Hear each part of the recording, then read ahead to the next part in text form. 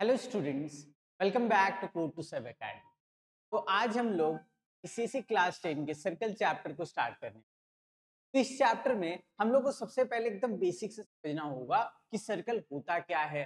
Circle से हम लोग को क्या काम है? कैसे चीज़ों को हम लोग सीखेंगे? है ना? तो चलिए शुरू करते हैं। तो सबसे पहले सर्कल का डेफिनेशन पे हम लोग आते हैं। अगर हम लोग सर्कल का डेफिनेशन को समझना चाहते हैं तो सर्कल का डायग्राम को देखना पड़ेगा। ये जो सर्कल का डायग्राम है, इसमें हम लोग को क्या दिख रहा है? हम लोग को दो पॉइंट दिख रहे हैं, है ना? हम लोग को क्या दिख रहे हैं? दो पॉइंट दिख रहे हैं। तो सबसे पहले मानते हैं ये पॉइंट के बारे में, ठीक है? मान के चलते हमारे पास एक पॉइंट दिया हुआ है और इस तरीके के बहुत सारे पॉइंट्स इस तरीके के बहुत सारे पॉइंट है, ठीक है? अब इस तरह, इस तरीके के जो बहुत सारे पॉइंट है, इस पॉइंट का खासियत क्या है? इस पॉइंट का खासियत है कि ये एक फिक्स पॉइंट से एक पर्टिकुलर डिस्टेंस में है जो कि फिक्स डिस्टेंस है। जैसे कि मान लेके चलते हैं हम लोग कि ये जो पॉइंट है और ये जो पॉइंट है, मान लेते हैं कि इन दोनों के बीच का डिस्टेंस आर है। ठीक है? मान लेते हैं कि हम यहाँ पे एक और पॉइंट लिए। ये पॉइंट भी क्या हो रहा है? डिस्टेंस पे है। मान लेते हैं हम यहाँ पे एक पॉइंट लिए। ये पॉइंट भी क्या हो रहा है? आर डिस्टेंस पे है। ठीक है? तो इस तरीके के जितने भी पॉइंट्स होंगे, इस तरीके के जितने भी पॉइंट्स होंगे उन सभी के कलेक्शन के बारे में अगर हम बात कर रहे हैं, जिनका प्रॉपर्टी क्या है कि इस फिक्स पॉइंट से उनका डिस्टेंस उस पॉइंट तक का आर है तो हम लोग क्या कहेंगे? हम लोग बोलेंगे कि ये जितने भी पॉइंट से इनका कलेक्शन जो है, एक सर्कल बनाएगा। क्या बनाएगा? एक सर्कल बनाएगा। यही है इसका डेफिनेशन डेफिनेशन क्या कहता है? A circle is defined as the locus of a point locus of a point मतलब क्या? इन सभी पॉइंट्स का समूह कलेक्शन ठीक है? A locus of a point which moves in a plane in such a way that its distance from a fixed point is always constant its distance from a fixed point is always constant let us suppose it is r समझ में आ रहा है? कोई दिक्कत नहीं है। चलिए। तो हम लोग को क्या बोला? The fix point is called the centre of the circle ये जो फिक्स पॉइंट हम लोग को दिख रहा है, इसे सेंटर ऑफ़ द सर्कल कहते हैं और इसे ओ से रिप्रेजेंट करते हैं। क्लियर है? चलिए। And the constant distance is called the radius of the circle ये जो कांस्टेंट डिस्टेंस हम लोग आर दिखा रहे हैं, ये कांस्टेंट डिस्टेंस क्या है? इसे हम लोग रेडियस पढ़ते हैं। ठीक है? चलिए। अब ये जो अपना हमारा सर्कल हो गया, ये हमारा सर्कल हो गया। इस सर्कल में अगर हम लोग को पूछ दिया जाए कि इस सर्कल को लिखेंगे कैसे मैथमेटिकली तो मैथमेटिकली हम लोग सर्कल को किस तरीके से लिखते हैं? C bracket O comma R ठीक है? किससे लिखेंगे? C bracket O comma R ठीक है? जिसमें ओ हमारा सेंटर को डिनोट कर रहा है आर हमारा रेडियस को डिनोट कर रहा है, और सी हमारा सर्कल को डिनोट कर रहा है। तो एक सर्कल एक सेंटर और रेडियस के थ्रू ही बनाया जा सकता है। इस कारण से ये हमारा रिप्रेजेंटेशन हो गया मैथमेटिकल रिप्रेजेंटेशन हो गया किसी भी सर्कल को दिखाने का। ठीक है? चलिए, आगे बढ़ते हैं। अब हम लोग को क्या करना है? अब हम लोग को पढ़ना है कंसेंट्रिक सर्कल्स के बारे में। कंसेंट्रिक सर्कल्स के बारे में अगर हम लोग को ध्यान से देखना है तो हम लोग क्या सोच सकते हैं कि मान लेते हैं हमारे पास एक सर्कल है और एक और सर्कल है। इनका जो है रेडियस फिक्स है। रेडियस फिक्स है मतलब क्या? इसका डिस्टेंस मान लेते हैं आर वन है और इसका डिस्टेंस मान लेते हैं आर टू है। मतलब अलग अलग रेडियाई है लेकिन सेंटर हमारा फिक्स्ड है। तो अगर हमारे पास बहुत सारे सर्कल है दो सर्कल है या फिर दो से ज़्यादा सर्कल है, है ना? तो और उसका रेडियस जो है अलग अलग है और साथ ही साथ सेंटर जो है फिक्स्ड है तो इस तरीके के जितने भी सर्कल्स हमारे बनेंगे वो सारे सर्कल्स कैसे कहलाएँगे? कंसेंट्रिक सर्कल्स एक के ऊपर एक सर्कल क्लियर है? चलिए। इसके बाद हम लोग को क्या पढ़ना है? कॉन्गुरेंट सर्कल्स जैसा कि नाम हम लोग देख रहे हैं कॉन्गुरेंट कॉन्गुरेंट का मतलब क्या होता है? सुपर इम्पोजेबल मतलब एक के ऊपर एक फिक्स हो जाए। तो मान लेते हैं कि मेरे पास एक सर्कल है का रेडियस आर है, और मेरे पास एक और सर्कल है जिसका फिर से रेडियस आर है। तो दोनों सर्कल का अगर रेडियस आर है मतलब क्या है? कि दोनों सर्कल जो है सेमी फॉर्मेट में होंगे मतलब एक ही जैसे होंगे, हूबहू एक जैसे होंगे। मतलब क्या है कि एक दूसरे के ऊपर क्या हो जाएगा? सुपर इम्पोज हो जाएगा। समझ में आ रहा है? इसका मतलब क्या है कि वो दोनों सर्कल कैसे हो जाएँगे? इक्वल हो जाएँगे। तो दो सर्कल को हम लोग कॉन्ग्रेंट तभी बोल सकते हैं जब उनका रेडियस सेम हो रेडियस अगर सेम हो जाएगा तो दोनों सर्कल इक्वल हो जाएँगे। समझ में आ रहा है? इसमें थोड़ा सा बड़ा छोटा लग रहा होगा, लेकिन एक्चुअली वो दोनों सेम साइज़ के होते हैं, क्योंकि उनका रेडियस सेम है। अगर रेडियस सेम है तो ऑब्वियस बात है, जो सर्कल बनेगा, वो क्या होगा? वो ऑलवेज सेम होगा, है ना? चलिए तो दो सर्कल को हम लोग कॉन्ग्रेंट तभी बोल सकते हैं, जब उनके पास सेम रेडियस हो। और हम लोग सिंस दो रेडियस या दो से ज़्यादा रेडियस के बारे में बात कर रहे हैं, इस कारण से हम लोग वर्ड यूज़ कर रहे हैं रेडियाई रेडियाई क्या है? एक प्लूरल फॉर्म है रेडियस वर्ड क्लियर है? चलिए आगे बढ़ते हैं। नेक्स्ट पार्ट अब हम लोग को पढ़ना है circumscribed circle circumscribed circle circumscribed का सर्कल का मतलब होता है एक ऐसा सर्कल जो क्या हो पॉलीगन के वर्टिसेस को टच करते हुए जो है बने। जैसे फॉर एग्ज़ाम्पल अगर हम लोग ये देखें ये हमारा एक ट्राइंगल है। ट्राइंगल क्या है? एक पॉलीगन है है ना? एक थ्री साइडेड पॉलीगन है। तो ये थ्री साइडेड पॉलीगन का जो वर्टिसेस है, यहाँ यहाँ और यहाँ पे है ना? ये ट्राइंगल का जो वर्टिसेस है, यहाँ यहाँ और यहाँ पे है। तो इन तीनों पॉइंट को टच करते हुए जब कोई एक सर्कल बने तो उस सर्कल को हम लोग क्या कहेंगे? सरकम सर्कल क्या कहेंगे? सरकम सर्कल क्लियर है? कोई डाउट नहीं है? उसी तरीके से अब यहाँ पे पॉलीगन देखिए, एक तो तीन साइड का हो गया, चार साइड का भी हो सकता है, पाँच साइड का भी हो सकता है, छह साइड का भी हो सकता है, बहुत सारे साइड्स का भी हो सकता है। तो अगर हमको पॉलीगन दिख रहा है और पॉलीगन के सारे वर्टिसेस को टच करते हुए कोई एक सर्कल बन रहा है तो ऑलवेज क्या होगा? सर्कम सर्कल होगा, ठीक है? ये आपको ध्यान में रखना है, ऐसा नहीं कि सिर्फ़ ट्रायंगल मिले तभी आप ऐसा सोचिएगा। कोई भी पॉलीगन है, चाहे वो थ्री साइडेड हो फोर साइडेड हो फाइव साइडेड हो सिक्स साइडेड हो एनी साइडेड हो से मतलब नहीं है हम लोग को। बस हम लोग को इतना ध्यान रखना है कि जितना भी साइडेड हो, उसका जितना भी सारा वर्टिसेस है, उन सभी वर्टिसेस को टच करते हुए अगर कोई सर्कल बन रहा है तो सर्कल कैसा सर्कल होगा? सरकम सर्कल कैसा सर्कल होगा? सरकम सर्कल क्लियर है? ठीक है। कॉन्ग्रेंट सर्कल्स के बारे में तो हम लोग पढ़ लिए। अब आगे बढ़ते हैं। अब बात आता है इंस्क्राइब सर्कल का। ठीक है? सर्कमस्क्राइब में क्या देखे? पॉलीगन का वर्टिसेस को टच कर रहा था सर्कल है ना? पॉलीगन का वर्टिसेस को टच कर रहा था। लेकिन अगर पॉलीगन के साइड्स को टच करने लगे कोई सर्कल तो हम लोग क्या कहेंगे? उस तरीके के सर्कल को इंस्क्राइब्ड सर्कल कहेंगे। फॉर एग्ज़ाम्पल देखिए, ये एक ट्रायंगल था हमारा। इस ट्रायंगल में जब वर्टिसेस को टच कर रहा था तो वो क्या बन रहा था? सरकमस्क्राइब सर्कल लेकिन जब यहाँ पे साइड्स को टच करते हुए एक सर्कल बन रहा है तो हम लोग को क्या देखने को मिल रहा है? इस तरीके का सर्कल को हम लोग कहेंगे इंस्क्राइब सर्कल क्या कहेंगे? इंस्क्राइब सर्कल क्लियर है? अब यहाँ पे ये भी बात हो रहा है कि ये तो ट्रायंगल है, और भी डिफरेंट डिफरेंट जितने भी पॉलीगन्स उसमें पॉसिबल है कि नहीं है? तो हमने देखा क्या कि फोर साइडेड फिगर है। फोर साइडेड फिगर मतलब क्या हो गया? ये एक तरीके का क्वाड्रिलेटरल हो गया। ये जो क्वाड्रिलेटरल है क्वाड्रिलेटरल भी हमारा एक पॉलीगन हो गया।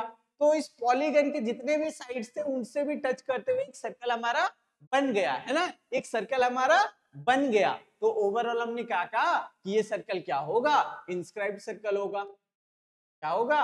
इंस्क्राइब सर्कल होगा। क्लियर है? कोई दिक्कत नहीं है? तो कितना भी बड़ा पॉलीगन हो, कोई भी पॉलीगन हो, अगर उससे एक सर्कल बन जा रहा है, उसके साइड्स को टच करते हुए तो ऐसे सर्कल को हम लोग क्या कहेंगे? इंस्क्राइब सर्कल क्लियर है? कोई दिक्कत नहीं है? चलिए, अब बात आता है कॉर्ड का। कॉर्ड किसे कहते हैं? एकदम बेसिक से चल रहे हैं हम लोग। कॉर्ड किसको कहते हैं? तो बोला the line segment joining any two points on the circumference of a circle called chord of a circle सबसे पहले सर्कमफेरेंस के बारे में जानते हैं। सरकमफेरेंस क्या है? ये आउटर बाउंड्री ये जितने भी पॉइंट्स का कलेक्शन था ना, ये सारे पॉइंट्स मिला करके जो आउटर बाउंड्री बना रहे हैं, यही हमारा क्या है? सरकमफेरेंस है सर्कल का। ये हम लोग क्लास सिक्स से पढ़ते आ रहे हैं।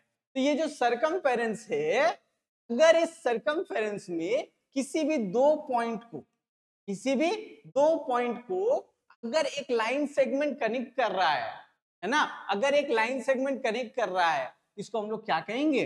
कॉर्ड कहेंगे। तो हम लोग क्या कहेंगे? कॉर्ड कहेंगे।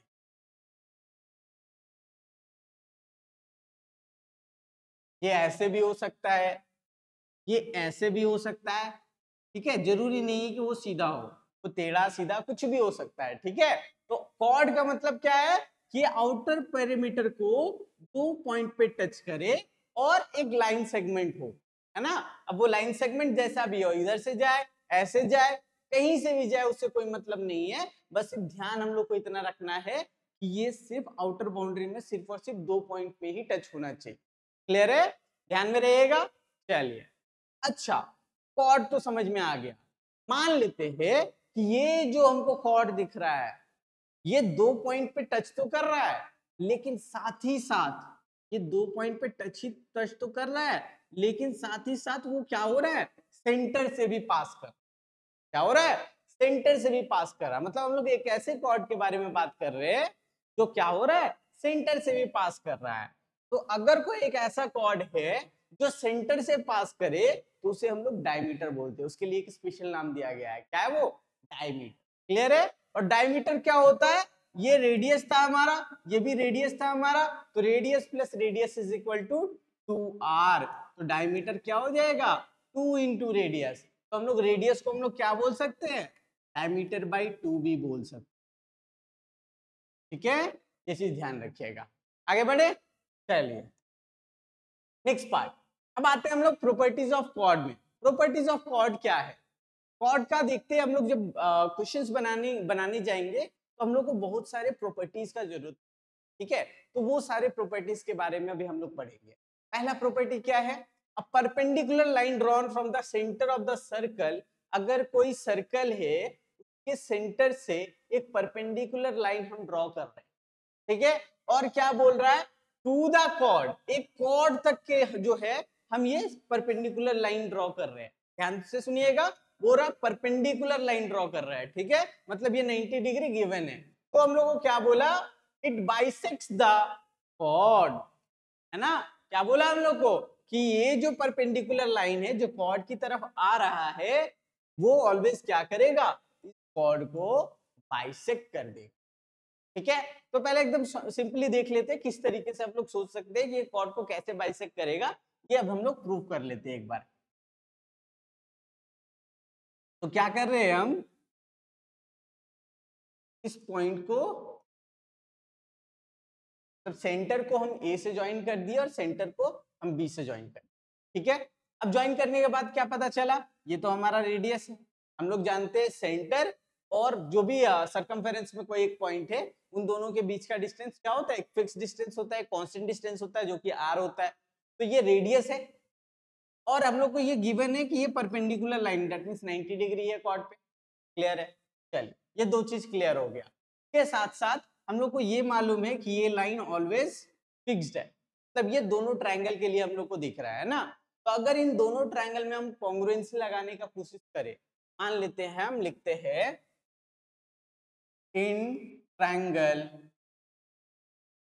P A O and triangle TBO तो हम लोग को क्या देखने को मिलेगा?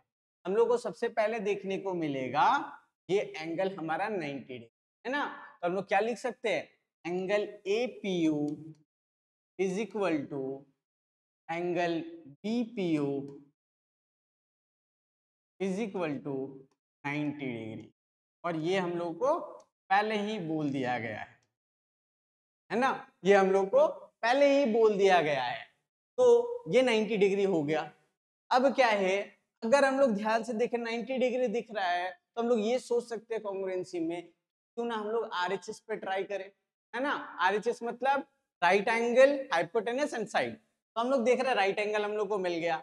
और रेडियस दोनों का इक्वल है मतलब हाइपोटेनस भी हम लोग को मिल रहा है। तो हम लोग क्या लिखेंगे नेक्स्ट पार्ट में? हम लोग लिखेंगे A is equal to P O is equal to radius of the circle या फिर आर लिख सकते हम लोग। क्लियर है? आगे। उसके बाद हम लोग क्या देखे? हम लोग ये बोल सकते हैं कि ये जो साइड ओपी है, एक साइड हमको चाहिए। या तो ये साइड हो सकता था, या तो ये साइड हो सकता था। अब ये AP is equal to PV हम लोग को प्रूव भी करना है। बाइसेक्स द कॉर्ड का मतलब क्या है? ये लाइन इक्वली डिवाइड कर देगा एपी को। मतलब AP is equal to PV हम लोग को प्रूव भी करना है। तो हम इस साइड को तो लेंगे नहीं। तो ऑब्वियस बात है, हम लोग को ओपी को लेना होगा। ओपी हमारा क्या है? कॉमन साइड है दोनों ट्राइंगल के लिए। तो हम लोग क्या लिखेंगे? OP is equal to PO common side है ना? हम लोग को क्या पता चला? हम लोग को पता चला कि ये triangle E A O congruent है ट्रायंगल ई बी ओ से by R H S congruency clear है? समझ में आ रहा है? चलिए। अब ये कॉन्ग्रेंट तो हो गया। कॉन्ग्रेंट हो गया तो हम लोग आसानी से बोल सकते हैं पी बाई सी टी हम लोग बोल सकते हैं ना this implies A P is equal to E B by P C T congruent part of congruent triangles are equal clear है? तो A P is equal to P B मिल गया। तो हम लोग आसानी से बोल सकते हैं। दस the perpendicular line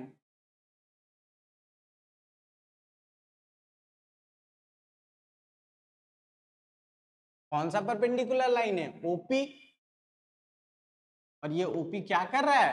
Bisects the chord AP bisects the chord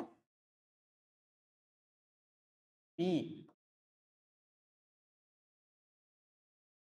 clear है? समझ में आ रहा है?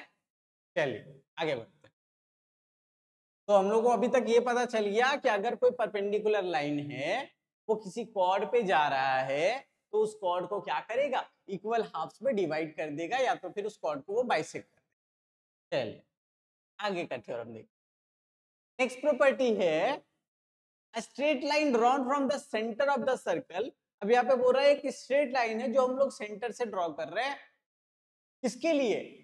टू बाइसेक्ट कॉर्ड इस कॉर्ड को इक्वली बाइसेक्ट करने के लिए, इस कॉर्ड को इक्वली डिवाइड करने के लिए एक स्ट्रेट लाइन बनाए, कुछ इस तरीके से बनाए कि ये ए बी कॉर्ड को डिवाइड कर दिया इक्वल इक्वल हाफ़ में मतलब A M is equal to M B बोल दिया।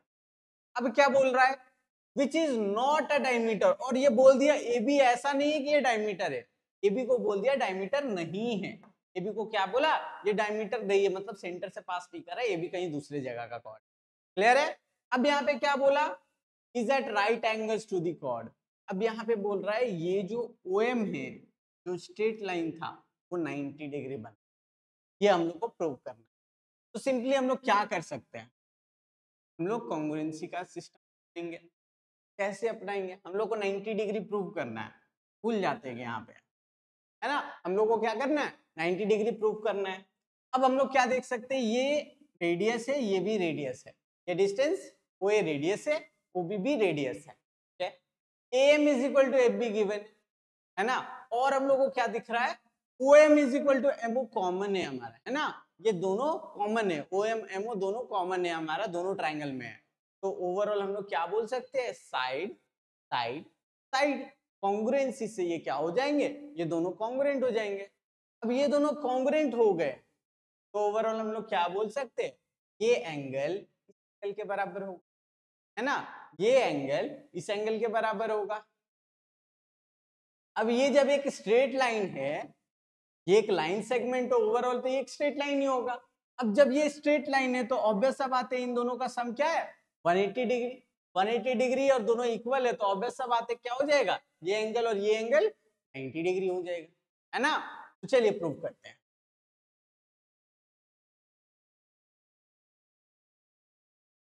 In triangle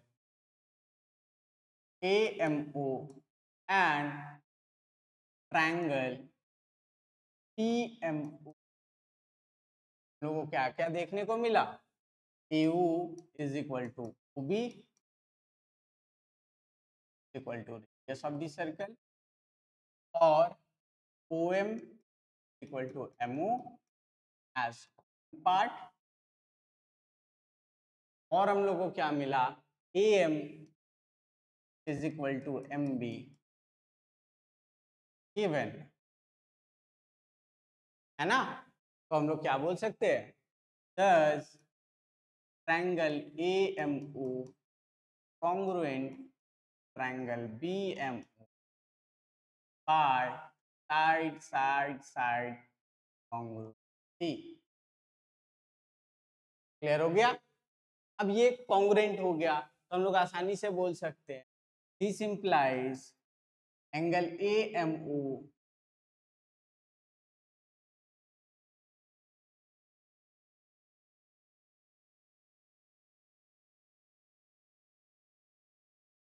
angle A M O is equal to angle B M O ये angle A M O B M O ये और ये, बल होगा।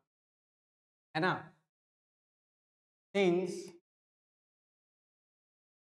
angle sorry A M B since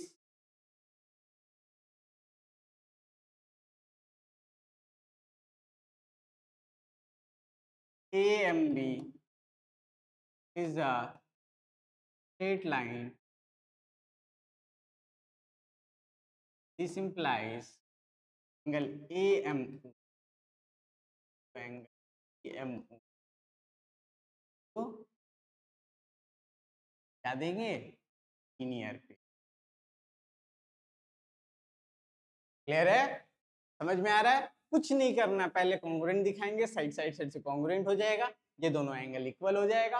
और हम लोग जानते हैं इन दोनों एंगल का सम 180 डिग्री होना चाहिए, क्योंकि ए एम बी एक स्ट्रेट लाइन है। तो ओवरऑल इन दोनों का वैल्यू क्या होगा? 90 का लीनियर पे ठीक है? चलिए, अब यहाँ पे एक नोट है। नोट क्या है? Greater is the length of the chord smaller is the distance from the centre बोल रहा है जैसे जैसे कॉर्ड का लेंथ बढ़ेगा कॉर्ड का लेंथ क्या बढ़ सकता है? जब ये कॉर्ड ऊपर की ओर जाने लगे, है ना? तो जैसे जैसे कॉर्ड ऊपर की ओर जाएगा कॉर्ड का लेंथ बढ़ेगा। अब जब कॉर्ड का लेंथ बढ़ेगा तो ये डिस्टेंस क्या होगा? मान के चलते यहाँ से यहाँ पे आ गया। तो ये कॉर्ड ऐसा हो गया, ये बड़ा साइज़ का हो गया। अब जब कॉर्ड का साइज़ बढ़ा तो ये डिस्टेंस क्या हो रहा है? ये डिस्टेंस घट जा रहा है। ये डिस्टेंस क्या हो रहा है? घट जा रहा है। ये परपेंडिकुलर डिस्टेंस क्या हो रहा है? घट जा रहा है। तो वही नोट पॉइंट में हम लोग को बताया गया है कि अगर हमारा length of the chord greater है तो हमारा परपेंडिकुलर डिस्टेंस जो है, वो स्मॉलर क्लियर है? ध्यान में है? चलिए, आगे बढ़े। नेक्स्ट पार्ट में चलते हैं। प्रॉपर्टीज़ ऑफ़ कॉर्ड में एक और इंपॉर्टेंट प्रॉपर्टी क्या है? Equal chords of a circle are equidistant from the centre बोल रहा है, दो कॉर्ड है इक्वल है। दो कॉर्ड है और वो इक्वल है। उसको बोल रहा है कि ये सेंटर से ऑलवेज इक्वल डिस्टेंस में हो that means O M is equal to O N होगा। कैसे होगा? इसके बारे में सोच। मान लेते हैं, हम लोग क्या कर रहे हैं? एक ट्राइंगल बना रहे ओ एम ए और एक ट्राइंगल बना रहे ओ एन सी ठीक है? अभी हमको क्या बोलने के लिए बोला है? हम लोग को बोला है कि ये O M is equal to O N prove कर ठीक है? कैसे कर सकते हैं? इसके बारे में सोचते हैं। ये तो गिवन है, ये 90 डिग्री है। है ना? और ये भी पता है हमको, ये रेडियस है। है ना? ये 90 डिग्री है, ये रेडियस है। ये भी 90 डिग्री है और ये रेडियस है। ये चीज़ हम लोग को क्लियर है। और अगर ये कॉर्ड है और ये परपेंडिकुलर लाइन है तो अभी हमने प्रॉपर्टी पढ़ा कि कोई भी परपेंडिकुलर लाइन क्या करता है? कॉर्ड को इक्वल डिवाइड करता है। दैट मीन्स हम लोग क्या बोल सकते हैं? हम लोग को ए एम मिल रहा है और A M is equal to M B हो जाएगा C N is equal to N D हो जाएगा। यही हो जाएगा। लेकिन इससे कोई काम नहीं बनेगा हमारा। तो हम लोग क्या करेंगे? ये एंगल और ये एंगल वर्टिकली अपोजिट एंगल का कंसेप्ट मतलब हम ओवरऑल क्या कर रहे हैं? ध्यान से देखिएगा।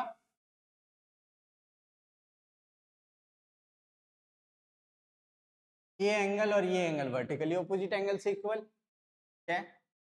और ये रेडियस ये रेडियस ठीक है? और ये 90 डिग्री ये 90 डिग्री तो अब हम लोगों को क्या दिखा?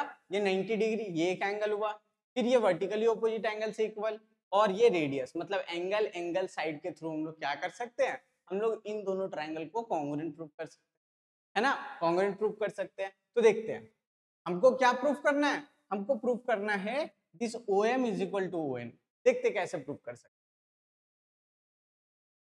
in triangle M O and triangle N O C हम लोग को क्या मिल रहा है? सबसे पहले हम लोग को मिल रहा है, ये angle A M O is equal to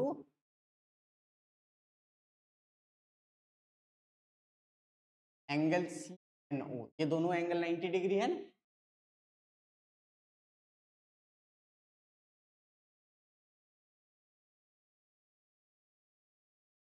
ये हम लोग को पता है। चलिए, उसके बाद हम लोग को क्या मिल रहा है? Angle M O A is equal to angle N O angle M O A is equal to angle N O C ये कैसे एंगल्स है? वर्टिकली ओपोजिट एंगल्स है। वर्टिकली opposite एंगल्स क्लियर है? और हम लोग को क्या मिल रहा है? O A is equal to O C है ना? O A is equal to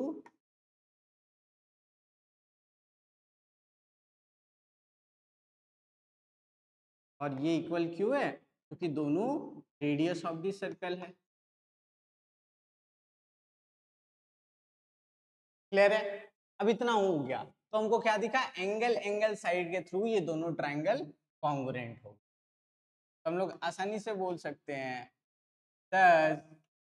triangle M O A to triangle N O C through angle angle side of congruent clear है? Angle angle side rule of congruency से हमने इन दोनों triangles को आपस में क्या कह दिया? कॉन्ग्रुएंट प्रूव कर दिया। और जब ये दोनों कॉन्ग्रुएंट प्रूव हो गए तो हम लोग आराम से बोल सकते हैं O M is equal to O N है ना? तो ये परपेंडिकुलर डिस्टेंस अब इक्वल हो जाएँगे। This implies O two one by clear है? एकदम आसान है, आपको बस ध्यान देना है। तो हमको क्या पता चला, अगर दो कॉर्ड्स इक्वल है, अगर दो कॉर्ड्स इक्वल है तो इनका परपेंडिकुलर डिस्टेंस ऑलवेज इक्वल अब जो है, एक और प्रॉपर्टी हमको यहाँ पे दिया गया है। Chords of a circle equidistance from the centre of a circle are equal हो रहा है क्या कि मेरे पास दो कॉर्ड है, इनका डिस्टेंस सेंटर से ऑलवेज इक्वल है। हम लोग को गिवन है O M is equal to O N है। हम लोग को बताना है, ये दोनों कॉर्ड आपस में इक्वल है। हम लोग को क्या बताना है? ये दोनों कॉर्ड आपस में इक्वल है। कैसे बता सकते हैं? ध्यान से देखिएगा। काम वही करते हैं हम लोग ये हमारा रेडियस हो गया। ये हम लोग को इक्वल दिया हुआ है। और यहाँ पे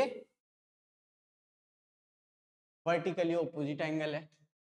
ध्यान से देखिए साइड एंगल साइड हो रहा है? साइड एंगल साइड से हम लोग क्या बता सकते हैं? ये दोनों कॉन्ग्रेट अगर ये दोनों कॉन्ग्रेंट है तो ऑब्वियस सा बात है A M is equal to C N होगा बाई सीपी है ना? A M is equal to C N होगा बाई सीपीसीटी और साथ ही साथ, अगर A M is equal to C N हो गया तो two of A M two of C N होगा। होगा ना? और ध्यान से अगर हम लोग देखें तो हम लोग जानते हैं, अभी हम लोग, हम लोगों ने एक प्रॉपर्टी पढ़ा था कि ये जो परपेंडिकुलर लाइन होता है, वो कॉर्ड को दो हिस्से में डिवाइड करता है ना? दैट मीन्स ये ए एम एम बी के बराबर पहले से है। अगर ए एम एम बी के बराबर पहले से है मतलब टू ऑफ़ ए एम क्या है मेरा? ए बी है। तो हम लोग आसानी से बोल सकते हैं, ये हमारा ए बी है और टू ऑफ़ सी एन हमारा क्या है? सी हमारा कॉर्ड इक्वल हो गया। समझ में आ रहा है? हम लोग को कुछ नहीं करना, हम लोग को सीधा सीधा यही बताना है कि अगर हमारा परपेंडिकुलर परपेंडिकुलर डिस्टेंस इक्वल है तो ऑलवेज क्या होगा? हमारा कॉर्ड भी इक्वल ये आप लोग खुद से ट्राई कीजिएगा। जिस तरीके से मैंने बताया, सबसे पहले इन दोनों ट्रायंगल को साइड एंगल साइड से हम लोग कॉन्ग्रेंट करेंगे। कॉन्ग्रेंट करने के बाद M is equal to C N लिखेंगे और उसके बाद फिर हम लोग दोनों तरफ़ टू से मल्टीप्लाई करेंगे। Two M is equal to two C N होगा और प्रॉपर्टी हम लोग जानते हैं कि कोई भी परपेंडिकुलर लाइन है, वो ऑलवेज कॉर्ड को क्या करता है? हाफ़ हाफ़ में डिवाइड करता है या फिर बाइसेक करता है। तो M is equal to M B हो जाएगा C N is equal to N D हो जाएगा। उस प्रॉपर्टी के through two M is equal to two C N जो है हमारा, वो A B is equal to clear है? आप लोग खुद से एक बार ट्राई कीजिए। के बाद के बाद हम लोग को लास्ट प्रॉपर्टी जो कॉर्ड का पढ़ना है, वो सिर्फ़ यही है there is one circle and only one which passes through three given points not in a straight line मान लेते हैं मेरे पास तीन पॉइंट है, एक यहाँ एक यहाँ एक यहाँ। ठीक है? तो इन तीन पॉइंट से सिर्फ़ और सिर्फ़ एक ही सर्कल ड्रॉ हो सकता ठीक है? इन तीन पॉइंट से सिर्फ़ और सिर्फ़ एक ही सर्कल ड्रॉ हो सकता है। इन तीन पॉइंट से एक से ज़्यादा सर्कल ड्रॉ नहीं हो सकता, ठीक है? सेम रेडियस का। ये चीज़ हम लोगों को प्रूव करना होगा ये आगे आपको फर्दर क्लासेस में जैसे जैसे जैसे जैसे क्लासेस में सारा चीज़ पढ़ा लेंगे, उसके बाद इसका थ्योरम का प्रूफ बताएँगे। ये थ्योरम अभी उतना ज़्यादा इंपॉर्टेंट नहीं है आप लोगों के लिए ये मतलब एक एक प्लस फैक्टर आप समझ सकते हैं कि अगर आपको एक्स्ट्रा में सीखना है तो आप इस थ्योरम को सीख सकते ठीक है? इसमें टाइम लगेगा, इसलिए मैं इसका थ्योरम का जो प्रूफ है, वो बाद में अपलोड करूँगा कि आप लोग अच्छे तरीके से सीख सके और जो है, जितना एग्ज़ाम पॉइंट ऑफ़ व्यू से जो जो चीज़ इंपॉर्टेंट है, पहले पहले वो कंप्लीट ठीक है? तो आज का लेक्चर जो है, हम लोग यहीं पे खत्म करते हैं। आगे आने वाले लेक्चर्स में हम लोग क्या करेंगे सर्कल के बारे में और पढ़ेंगे। Thank you